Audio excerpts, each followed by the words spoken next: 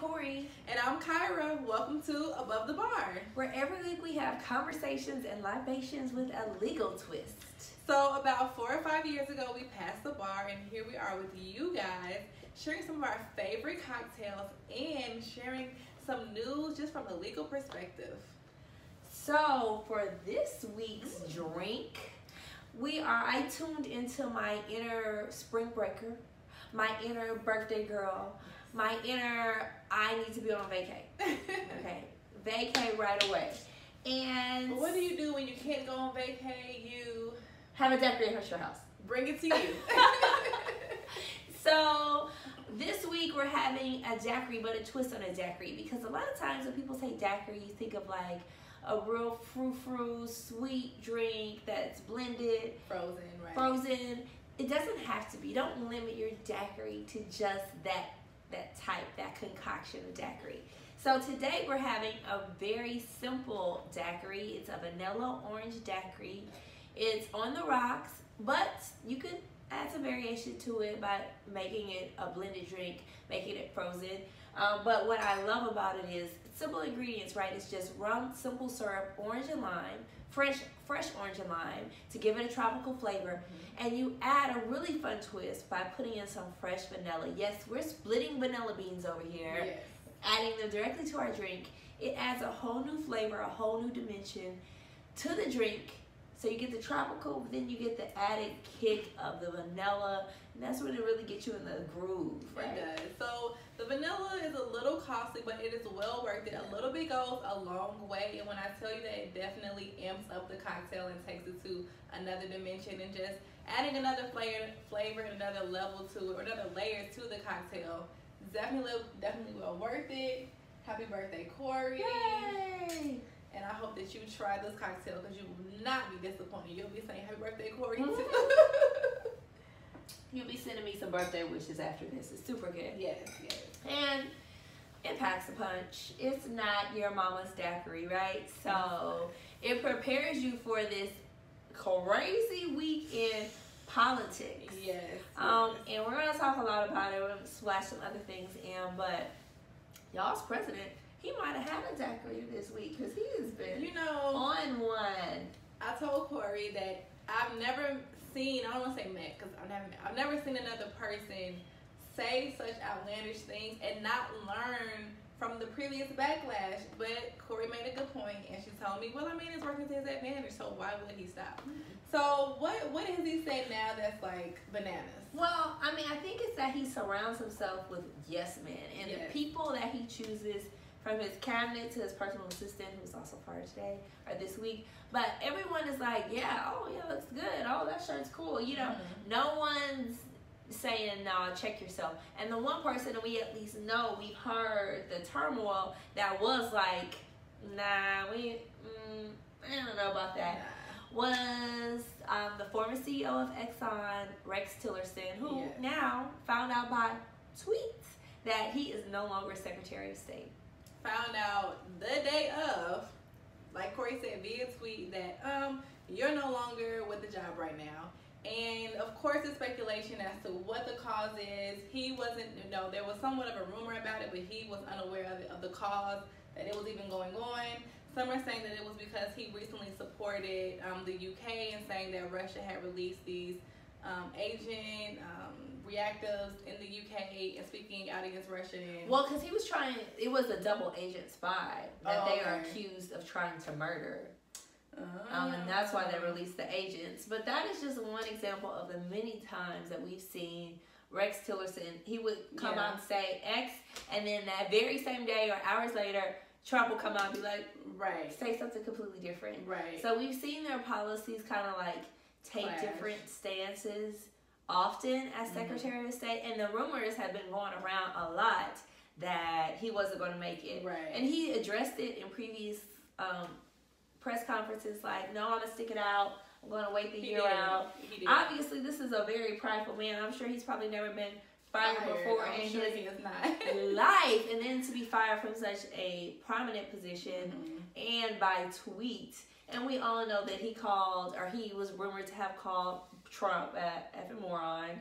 I, mean, I, I can't see the lie there. I'm not gonna argue with the man there. So we know he is a man, obviously, who had his own strong convictions, and Mm-hmm. the jury is kind of split. Some people, I read an article by Vox that said the damage he has done as Secretary of State will last generations. And then I've seen other people, yeah, I've seen that. That came out from Vox, and the Vox is known to be kind of um, in the middle of the road. So Vox said that, and then other people were saying, hey, he was a super classy guy.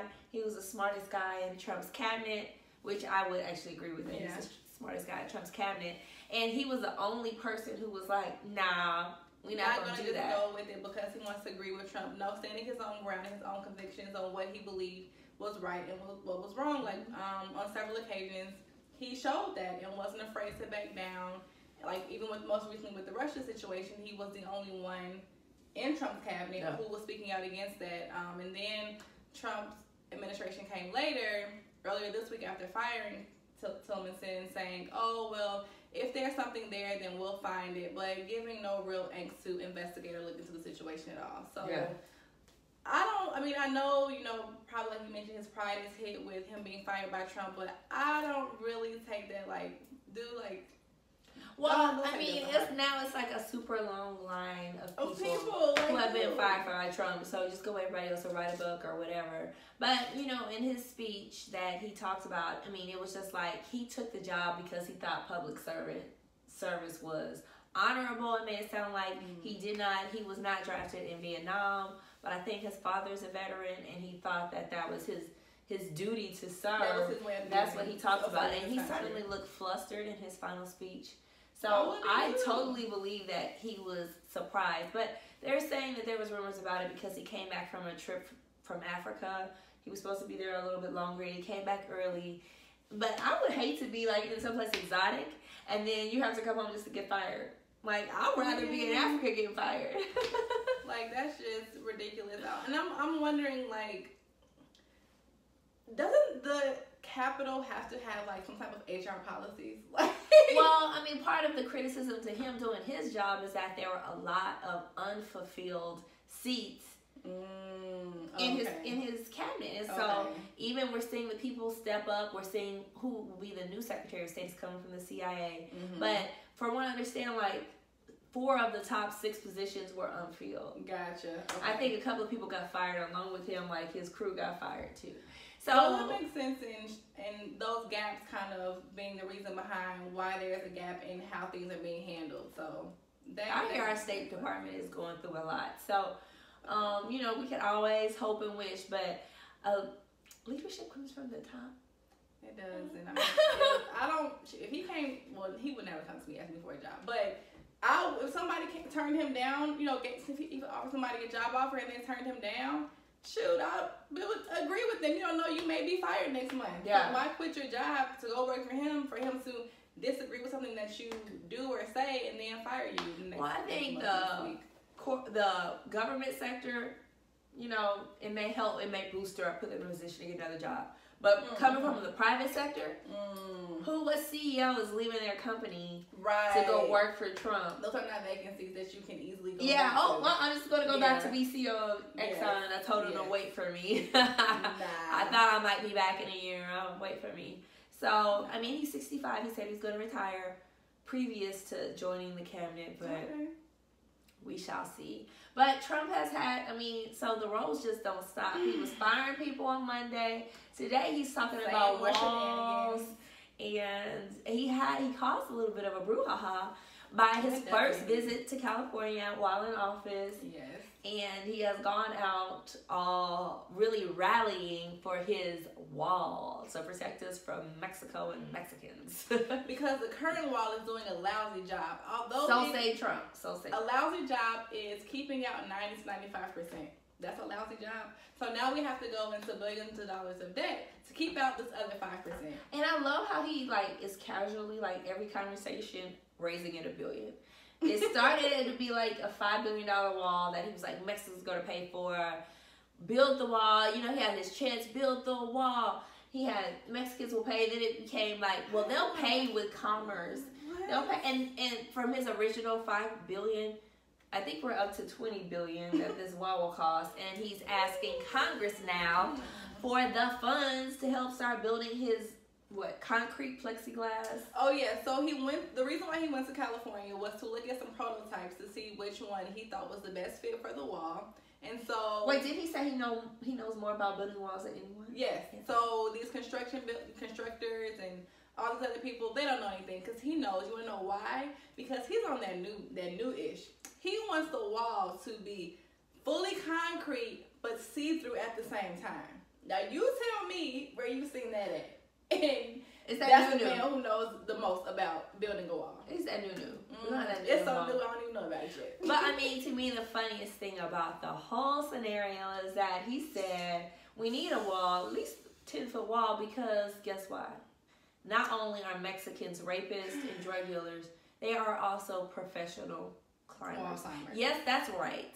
He's saying that Mexicans, we need a very, very, very strong, tall, high, deep wall because Mexicans are professional. Now, do not think that we are paraphrasing or misquoting this in any way. This is exactly what this man has said. And we need this great wall. California is best friends with criminals, and they're the reason why this 5% is getting in the U.S. and why we need to build this wall immediately and go into Congress for dollars, which does what? Take away from Medicaid, take away from school funding, things that Are we like need. libraries that Yes. no longer have funding. Right. So resources that we need as a society to not just survive but thrive while other countries are you know what I'm saying are have these these social resources and things like that. So um the fact that we're even at the phase of him looking at prototypes and moving forward, I'm Yeah. just like what but one thing that I did see a couple weeks ago was I don't know if it was I don't know where it was, so I don't want to misquote. I feel like it was somewhere on the border of Texas and Mexico Yeah. um, where there was a fire on the other in Mexico, Mhm. and the firefighters from the Texas side were putting the blazes out. And I was just like, man, you know, there is some hope that some of us do not share the same sentiments as Trump, and we do feel like there is a humanity, you know, humanity relationship between the two sides. Well, it's funny because when you listen to people in their commentary about Trump, they'll be like so super him um, Mhm. on the things they think he's doing right. But where are they talking about Miss Stormy at? Because now we have his alleged mistress, Hey now, former porn star, maybe current porn star, um, Stormy. I guess she just needs one name. We're gonna go I don't know her uh, her last name, but obviously there has been a lot of talk about Stormy because she signed a non-disclosure from Trump's attorney, Mhm. who claimed he paid her one hundred and thirty thousand dollars. Which really Just- isn't a lot. No, not for the story, No, it's not a lot for but this. at that time, Trump supporters were so crazy. Maybe she thought it was just like an easier Gotcha. way. And then the story where she had did done interviews previously kind of got released, picked back up. People were now again interested now that he's president. Um, and so now she's saying she wants to avoid. She's suing to avoid her non-disclosure that she signed because she's saying she signed it, but Trump does not sign it. So She's saying that he never signed it and that the money that she received actually came from the lawyer's personal um, finances, um, that he had like equity in his home or something like that. And that, so there was no money from Trump involved. His signature wasn't on the agreement. And so therefore it was not a mutual meeting of the minds between she and him. Yeah. So therefore there was no agreement is what she's arguing. Um, and also to kind of release publicly that she's suing him to be able to say what happened, kind of at least voice a layer of that, you know, discretion or that discreetness that was given before. Well, her attorney is saying lots, and he's saying like they gave deadlines and they're gonna release And text messages, yeah. photos, all these things that they have. Um, if they didn't get a response to their request, which they did Mhm. not, so I think we'll see. But it's funny because the people who are, you know, it really doesn't affect his base. And it's It fun. It's not, funny because a lot, part, you know, a lot of them are conservative. That would be a different Well, I mean, almost anyone. I Yeah. mean, yeah. you your wife just had a baby and then you're having sex with a porn star On multiple occasions, supposedly. anybody would have a problem with it so um, it's not even that interesting to see how it unfolds because my vote he 100% did it and the only thing Yeah. that's be interesting is when people start to say Mm. it is not presidential So you're absolutely right because he tried to say, "Oh, it wasn't me," but then there were direct correlations between him and her and the whole deals and then he came back and said oh my attorney created you know created this agreement. So was it not true or did your attorney in fact create the agreement? Like which one was it sir? Uh, we he'll keep playing you know, around that. hypothetical uh, oj you know storyline. But hopefully um they're saying that she's the anti-trump i'm not really sure what that means as far as anti-trump um, I don't know any I wouldn't I mean, symbolize her as anti-Trump, but I mean, hey, if if she's not gonna be the one to bring him down, I No, don't see that. I don't foresee that happening. No, because people would have been appalled when she first mentioned it, especially because he had a newborn at home. Mm-hmm. Like, Right, Kind at of the old to be a newborn. You know. Anywho, um, we just have to move on from him because he's kind of making my stomach hurt. Um, we saw something, and, and when it comes to politics, what I did love today, love, Yes. love, love, Yes. is people taking you back and remembering politics is about you and Yeah. sometimes you gotta learn from the youth and people who haven't been drugged through oh it's never going to happen all Right. the reasons people don't vote or participate so we saw thousands upon thousands of high school students Yes. walk out of their classrooms today to vote to voice their opinion about gun control in this country Yes. So today there were thousands, not only across the U.S. but also this expanded to Australia, the U.K., and Germany, where students walked out. Um, the time to walk out was at 10 o'clock a.m. Mhm. and they stayed out for 17 minutes to in honor of those whose lives were lost at the Parkland shooting. Those students at Columbine stayed out for an additional 13 minutes um, in memory of the students that lost their lives at the Columbine shooting. So today was the first kind of major um, never again movement.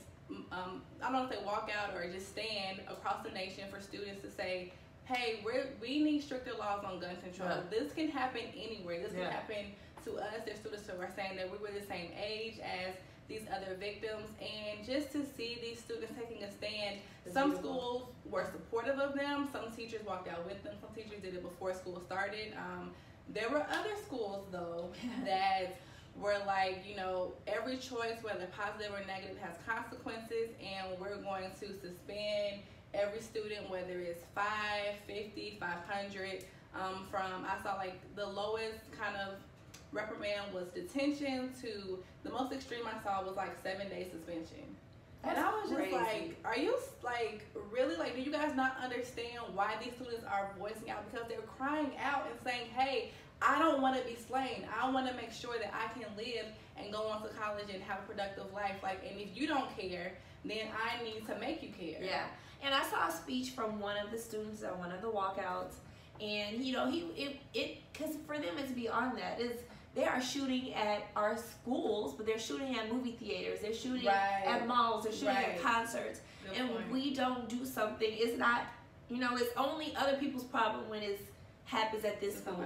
But when it hits home and it becomes your school, it becomes something that happened um, in your community. You can't be in denial Can't about it anymore. eye to it. And I think these children are really coming together and bonding over this and showing the power of it doesn't have to be, you know, they're saying all these groups are putting together. No, because the way things are connected now, there's like a one degree of Mhm. separation. You can tweet and maybe Trump will tweet Yep. you back. So why can't Yep. these kids get together? Someone has an idea, it goes viral, and then they all act on it. And what I think, you know, is powerful to see that because people forget this is the power of politics. Mm-hmm. This is the power when you demand change as a collective, but also these are your future voters. Boom. Hello. That's what I want to They see. ain't gonna remember. Yes, you're you're dismissing them now, but 18 is the legal age to vote. So some of these children are 18, Yes. and next election, Trump Yes. re-election, they will be Yes. legal age. Definitely making their voice heard then. And Corey, you made a very valid point in saying that the reason why these protests and technology and why it's so important is because of the visibility that it gives.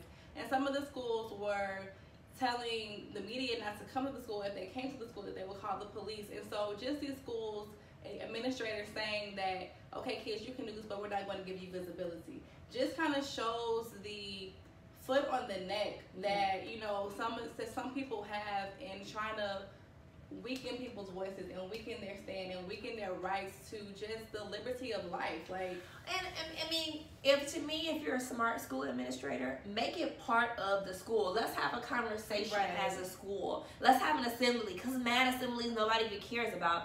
And then it, within the time frame of this assembly, you have the option to walk out right.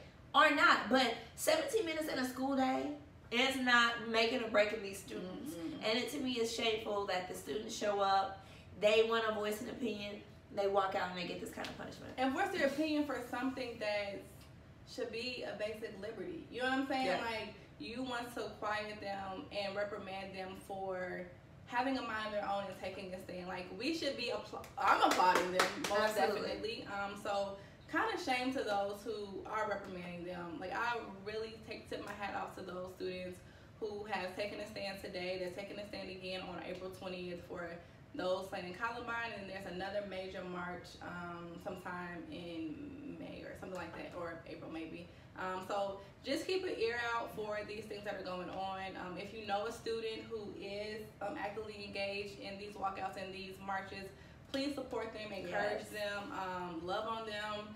Just you know, just to continue to encourage our youth because they're doing a hell of a job. And that's what democracy is about. yes. Let's not forget that you have a right to your voice, and when you pull your voice together with other people's, that's how you effectuate change. So kudos to them. I don't think they understand what they're going, they're rolling out, Mhm. but I hope as they age, they begin to understand and remember. You know, there's this like the Yes. five-year-old children of our day Yeah. because they're saying, no, you can't just tell me this is right. I don't want to just go with what you say and what you think. I have my own opinions. And I want to stand by them. Exactly, exactly. Um, and just last point I want to make is talking about how people don't realize how important something is until it hits them. The teacher who shot in Florida and injured a student, and the parent of that student at one point was didn't realize why these why the teacher shouldn't get guns and things like that in class. But then when his child was injured by the gun going off from the teacher, now he's like, oh, okay, now I see why it's a big deal. Well, that same student I was talking about earlier, where I saw his speech, mm, that that's what he said. We have a president whose solution to gun control is more guns. Oh. Um, you know, even if you're highly trained in combat, who knows what you would do when someone is doing rampaging through your school, and who knows if what your actions are will really make anyone any Right, safer. If you think two cowboys in a bar, you know, trying to have a shoot off, Everybody getting shot. and then just you know, we see it all the time, and maybe people who don't pay attention.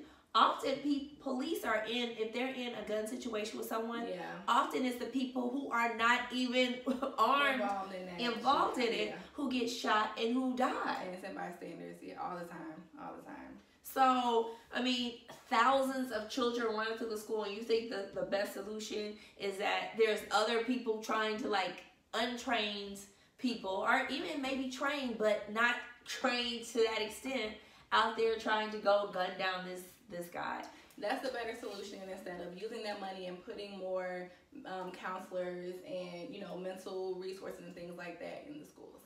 Okay, but speaking, well let's talk about people who we know are crazy because you know yeah, just you know, so let, let, let's just go there.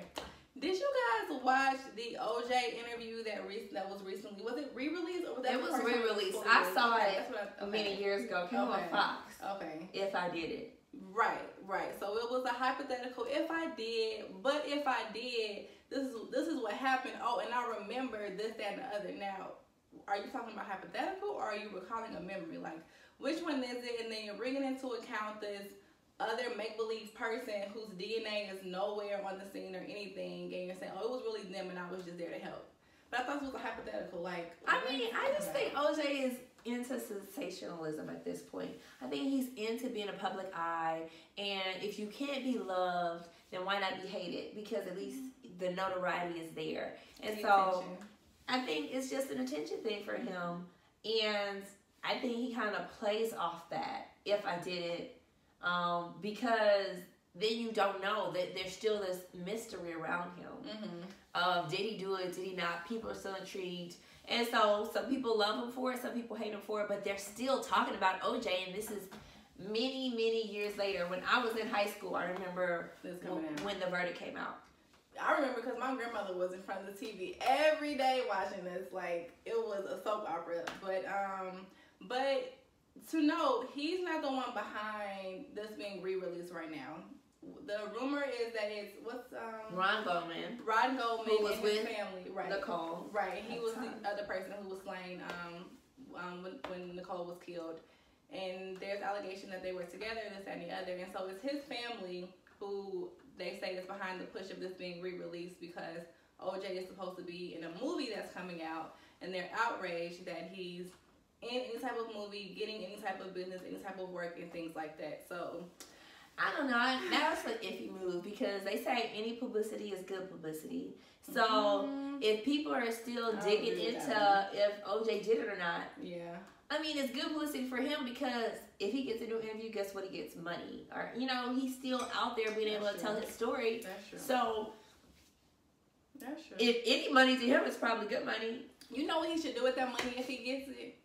He should probably pay the Goldman's family for that settlement or for that I judgment. thought he paid them for that judgment. I heard that he hadn't paid. No, well, I don't know. Well, we'll have to do a little more research and comment on that. I heard that he had not paid, um, but I don't know. That was the last thing I heard, but maybe I was misinformed. Well, we have gone from kind of crazy to really damn crazy. yeah. But you know, but they're both sociopaths, Right. so uh, there's some know, they have similarities. They similarities. probably yeah. hung out back in the day too. Oh god, that's scary. Yeah. That's scary. So don't forget, like, share, follow. Make sure Yes. you're um, sharing if you like it, and share with us. Give us some feedback. Let us know what you think. This week's drink, don't forget, was a vanilla orange um, daiquiri, yes. And We'll be posting the ingredients. Um, if you didn't, if you missed us on Facebook Live, we will be reposting the video of how to make it on our Instagram as well. So follow us on Instagram at Above the Bar PC. Also follow us on YouTube, Facebook, Google Play Music, and iTunes. All at Above the Bar Podcast. Um, like Corey said, like, share, follow, talk to us. Let us know how you think about what we're talking about. Something you want to talk about or something you wanted to try above the bar. Until next time, guys. cheers. Cheers.